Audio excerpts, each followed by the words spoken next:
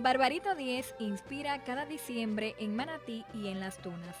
Este hombre, nacido en Bolondrón, Matanzas, en 1909, vino a vivir a tierra manatiense en su temprana infancia y andando el tiempo se convirtió en la voz de oro del danzón. Aquí, en el otrora ingenio azucarero, al norte de la actual provincia tunera, creció rodeado de amor y se perfiló su vocación de cantante. Triunfó en La Habana ya en la adultez y allí se convirtió en gloria cultural de Cuba.